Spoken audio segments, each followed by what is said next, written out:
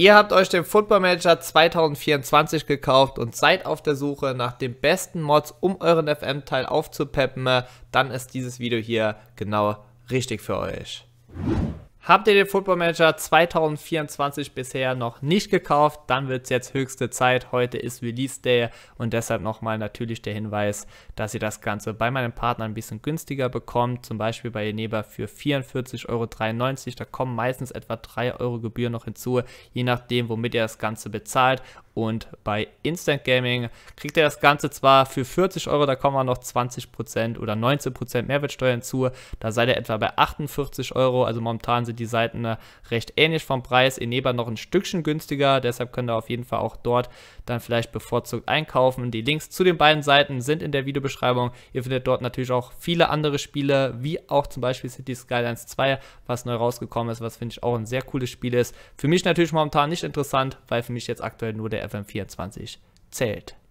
Ich zeige euch heute die verschiedensten Seiten, auf denen ihr die besten Mods für den Football Manager 2024 findet. Außerdem werdet ihr sehen, wo ihr die verschiedenen Sachen dann auch abspeichern müsst und worauf ihr sonst noch achten müsst, damit das Ganze letztendlich einwandfrei funktioniert. Ich werde aber jetzt nicht bei jedem einzelnen Mod bis ins Detail reingehen. Ich habe dazu schon bei dem einen oder anderen Video ein extra detailreiches Video gemacht, die werde ich dann jeweils verlinken. Starten wir direkt mal mit den Seiten, auf denen ihr die Mods findet. Am einfachsten ist es tatsächlich, wenn ihr über Steam eine Mod für euren FM findet. Denn wenn ihr über Steam auch den FM heruntergeladen habt, dann könnt ihr ganz einfach hier auf Community gehen, auf Workshop, gebt dann hier später in der Suche nochmal Football Manager 2024 ein und dann findet ihr alle Mods, die über Steam für den Football Manager 2024 hochgeladen wurden und dann klickt ihr einfach auf den Mod drauf, den ihr haben möchtet und geht auf Abonnieren und schon ist das Ganze bei euch im FM drin. Ihr müsst auf nichts mehr achten und das ist eigentlich der einfachste und beste Weg.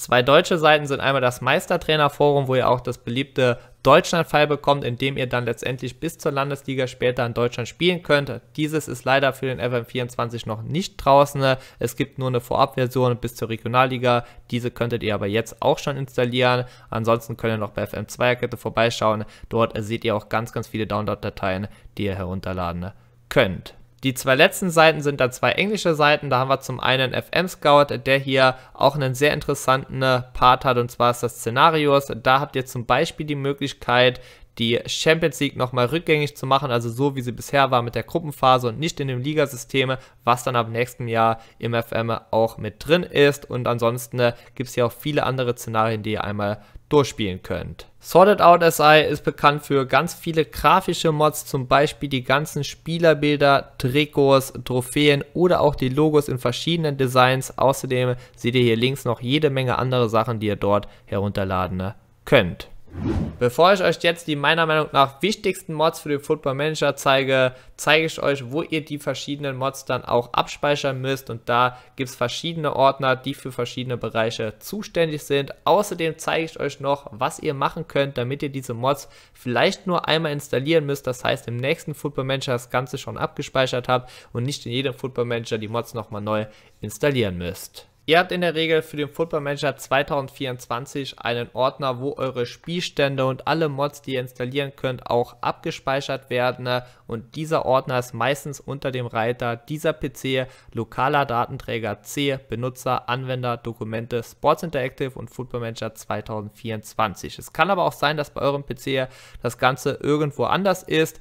Dieser Ordner auf jeden Fall, den könnt ihr theoretisch euch auch selbst ganz woanders abspeichern oder einen komplett neuen Ordner machen. Und das empfehle ich euch eben, einen Ordner zu machen, irgendwo abzuspeichern auf dem PC, den FM User Ordner zu nennen und dort werdet ihr dann, wenn ihr den Football Manager den als euren FM-Ordner auswählt, diese Dateien später auch sehen. Das wird dann quasi vom FM dort reinkopiert. Was ihr aber machen müsst, ist dann hinterher nochmal die Spielstände oder andere Sachen, die ihr hier drin gespeichert habt, dann in diesen neuen Ordner rein zu kopieren. Heißt zum Beispiel, eure Spielstände sind unter Games, da geht ihr drauf, kopiert das Ganze einmal und fügt das Ganze in euren neuen Ordner ein. Ich habe jetzt zum Beispiel hier meinen FM-User-Ordner und dort habe ich vor allem unter Grafiken ganz, ganz viel Gigabyte an Grafiken gespeichert. Das würde unfassbar lange dauern, das Ganze nochmal entweder neu zu installieren oder in den neuen Ordner zu kopieren.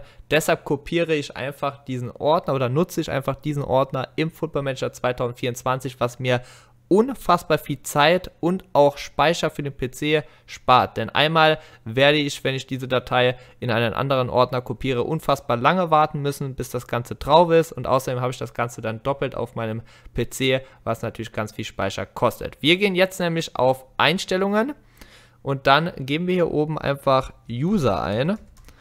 Und dann findet ihr hier oben den User-Ordner. Und das ist dann normalerweise den Ordner, den ihr ganz am Anfang gesehen habt. Und ich habe den dann quasi geändert. Gehe auf Ordner ändern und suche dann den Ordner, den wir jetzt gerade neu gespeichert haben auf meinem PC und wählen den als FM-User-Ordner aus. Und dann haben wir den Ordner quasi als den Ordner, den wir für den Football Manager nutzen und können dort die Dateien abspeichern und im nächsten Football Manager das Ganze hier, diesen Prozess nochmal machen. Und dann ist wieder dieser Ordner unser Ordner für den neuen Football Manager und wir müssen nichts bei den Mods verändern.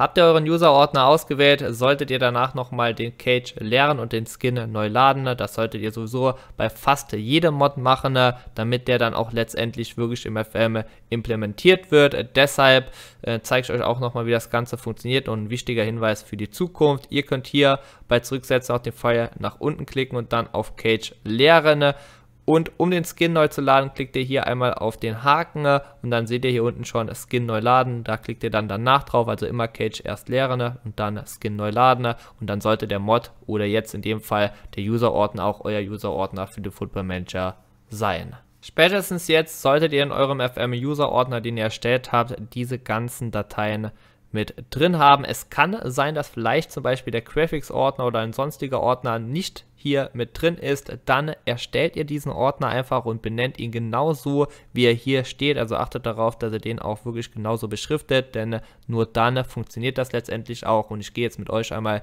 die einzelnen Ordner durch und erkläre euch, für welche Mods diese zuständig sind. Wir starten mit dem Ordner Editor Data. Dort kommen alle Sachen rein, die die Datenbank verändern, zum Beispiel dann auch das Deutschland-File, das Ligasysteme, also solche Sachen, die vor allem die Ligensysteme verändern, die werden alle hier gespeichert oder Dinge wie zum Beispiel ein Retro-Save, den könnt ihr auch hier speichern, also die Datenbank für einen Retro-Save. Hier haben wir zum Beispiel die Datenbank von 2003, 2004, die speichert ihr hier ab. Das ist all das, was ihr vor einem neuen Spielstand dann auswählen könnt für die Datenbank, um diese dann für den Football Manager zu nutzen. Damit es für euch nochmal ganz genau verständlich wird, zeige ich euch hier im Football Manager genau nochmal, was ich meine. Und zwar geht es darum, um diese Sachen, die ihr für einen neuen Spielstand nutzen könnt. Und zwar sind wir jetzt hier auf der Seite, wo wir einen neuen Spielstand starten und sehen hier oben die Datenbank und dort können wir draufklicken und dann quasi die Mods nutzen, die zum Beispiel hier die luxemburgische Liga nochmal implementiert. Hier seht ihr jetzt auch Sachen, die wir nicht auswählen können. Ne? Und das sind noch Sachen vom FM23, die quasi dann ja automatisch mit drin sind, da wir den User-Ordner für den FM23 auch im FM24 nutzen. Die können wir jetzt leider nicht nutzen, da all das, was die Datenbank verändert, leider nicht im nächsten Football Manager auch genutzt werden kann. Da müssen wir quasi warten, bis das Ganze für den Football Manager 2024 nochmal erstellt wird. Der nächste Ordner ist der Ordner Filters. Dort speichert ihr alles ab, was zum Beispiel für die Spielersuche als Filter genutzt werden kann. Zum Beispiel gibt es ja den NewGen-Filter, wo ihr nur die NewGens rausfiltern könnt oder den Filter, den ihr fürs Datenscouten nutzen könnt, um quasi alle Daten zu erfassen. Möchtet ihr Spielstände herunterladen, dann speichert ihr den natürlich unter dem Ordner Games ab und als nächstes sehen wir hier dann den Ordner Graphics und das ist somit der wichtigste Ordner für alle Spielerbilder, Wappen, Trophäen und was es sonst noch gibt. Diesen Ordner öffnet ihr dann und speichert dort quasi diese Sachen ab. Wir haben zum Beispiel hier die Bilder, die ihr, glaube ich, auch als Ordner dann äh, Faces benennen müsst, damit das Ganze richtig zugeordnet wird. Und da seht ihr alle Spielerbilder mit quasi der ID-Nummer des Spielers und dann werden die im FM automatisch zugeordnet. Wollt ihr einen neuen Skin installieren, dann müsst ihr den natürlich auch hier unter dem Ordner Skins abspeichern. Dort findet ihr jetzt von mir zum Beispiel den SAR-Skin, dazu habe ich ja schon ein Video gemacht. Könnt ihr euch auf jeden Fall anschauen. Für mich der beste Skin im Football Manager und auf jeden Fall absolut empfehlenswert. Und ansonsten gibt es jetzt noch den Taktikordner, wo ihr dann quasi meine Bayer Leverkusen Taktik dann abspeichern könnt. Das wäre aber gar nicht so schlimm, wenn das Ganze nicht richtig abgespeichert ist. Wenn ihr könnt die Taktiken auch egal wo sie auf dem PC abgespeichert sind, im FM24 mit einfügen. Der nächste relevante Ordner ist der Ordner für die Fake LNC. Die Fake LNC ist dafür da, dass ihr die echten Spielernamen habt, die echten Vereinsnamen und auch zum Beispiel die deutsche Nationalmannschaft im Football Manager drin habt. Denn wenn ihr diese Fake LNC nicht habt, dann ist zwar die deutsche Nationalmannschaft mit drin, ihr könnt die deutsche Nationalmannschaft aber weder spielen, noch sind dort tatsächlich die Originalspieler drin. Und das ist natürlich für uns Deutsche nicht so genial. Für diesen Ordner oder um diesen Ordner zu finden, klickt ihr hier auf eurer Steam-Bibliothek auf den Football Manager 2024 und dann könnt ihr hier einfach einmal auf Verwalten klicken und geht auf Verwalten und auf lokale Dateien durchsuchen. Da wird automatisch dieser Ordner angezeigt. Da ich euch die Fake LNC jetzt schon mal vorgestellt habe, ist das auch der erste Mod, den ich euch jetzt nochmal genau erkläre. Und zwar ist das der Mod, wie eben schon gesagt, der dafür zuständig ist, die deutsche Nationalmannschaft zu haben, wie die Original-Vereinsnamen und weitere Sachen. Ne? Ihr geht dafür einmal auf die Seite des Meistertrainerforums, klickt dann hier oben einmal drauf, geht dann natürlich auf den Football Manager 2024 und dann seht ihr nochmal genau, was hier verändert wird und die genaue Installationsbeschreibung. Ich habe euch ja schon gezeigt, wie ihr den Ordner findet. Dafür müsst ihr das Ganze dann über Steam so machen, wie ich es euch eben gezeigt habe. Und dort findet ihr dann diesen Ordner hier letztendlich, wo ihr die LNC, die alte LNC löschen müsst und dann den neuen Ordner, den ihr hier auf der Seite heruntergeladen habt, einfügen müsst. Außerdem müsst ihr noch in verschiedenen Ordnern was löschen, damit das Ganze dann letztendlich auch wirklich funktioniert. Ich zeige euch hier nochmal den Ordner und zwar so sieht er aus. Dann müsst ihr hier einmal auf Data klicken, Database, DB und dann haben wir hier für die verschiedenen Football Manager einmal die Ordner und da müssen wir jetzt auf 2400 klicken, das ist für den Football Manager 2024.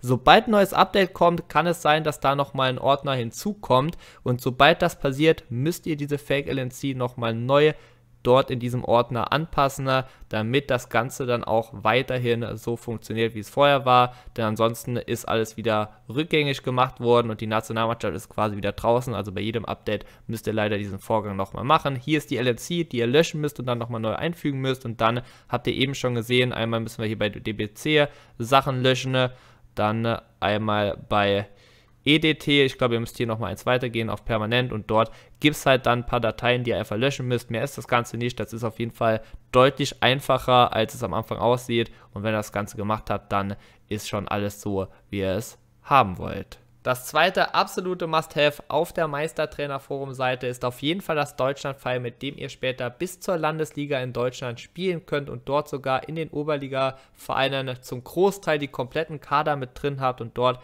könnt ihr euch auf jeden Fall drauf freuen. Ihr findet das Ganze unter Editor-Dateien, Datenbankerweiterungen, dann wird hier später irgendwann was Neues aufploppen, wie zum Beispiel jetzt hier FM24 Deutschland Mod Bundesliga bis zur Regionalliga, wird dann quasi bis zur Landesliga mit drin sein und dort findet ihr dann quasi die Download-Datei. Das ist jetzt quasi jetzt hier die Vorabversion, wo ihr schon bis zur vierten Liga spielen könnt. Das ladet ihr einfach herunter, speichert es unter Editor Data und habt es im FM24 drin.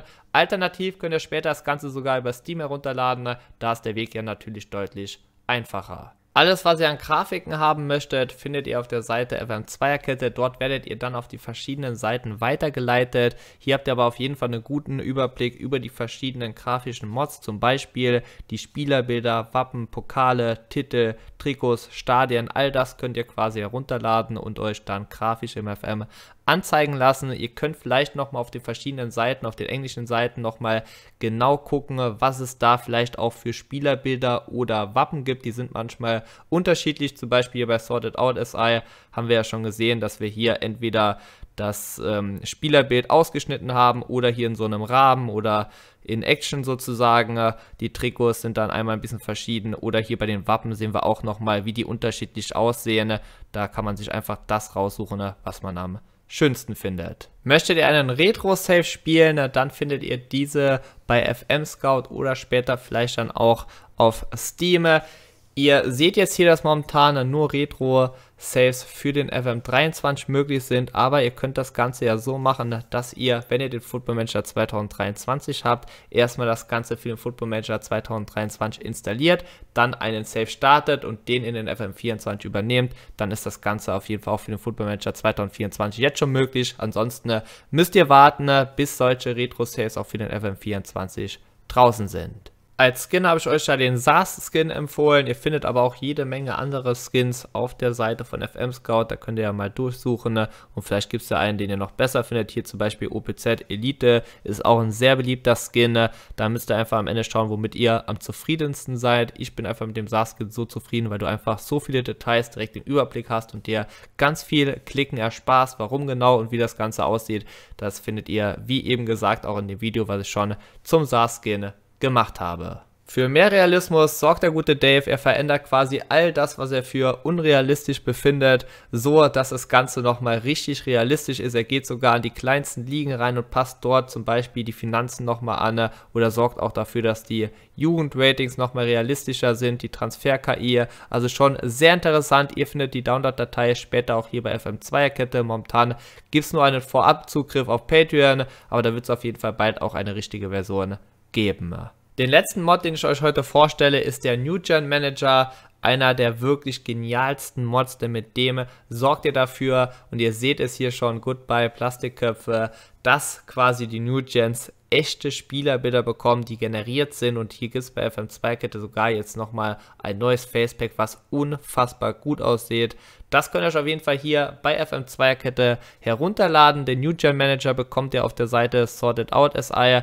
Ich habe dazu schon mal ein Video gemacht, wie ihr den NewGen Manager herunterladet. Ihr könnt aber auch gerne mal aktuellere Videos euch anschauen. Ich weiß nicht, inwiefern das von meinem Video noch aktuell ist, aber das müsste eigentlich noch eins zu eins so funktionieren. Ich werde mich damit auf jeden Fall demnächst nochmal befassen und dann werden wir auch in unserem Save dann mit Eintracht Trier, was bald auf uns wartet, ähm, ja, diesen NewGen Manager auf jeden Fall drin haben, damit wir in Zukunft immer die echten oder solche echt aussehende Spielerbilder für unsere New Gens im FM24 mit drin haben. Das war es schon wieder von dem Video hier. Ich hoffe, das Ganze hat euch gefallen und ich konnte euch ein bisschen weiterhelfen. Ich empfehle euch auf jeden Fall jetzt auch regelmäßig auf den verschiedenen Seiten, vor allem auch auf Steam, vorbeizuschauen, denn dort ist das Ganze ja, wie gesagt, einfach deutlich einfacher herunterzuladen und dort findet ihr vielleicht dann irgendwann auch nochmal diesen Mod, wo ihr bis zur 10. Liga in England spielen könnt. Auf jeden Fall auch unfassbar interessant. Und so findet ihr mit Sicherheit noch andere interessante Mods, die ihr für den FF24 mal ausprobieren wollt.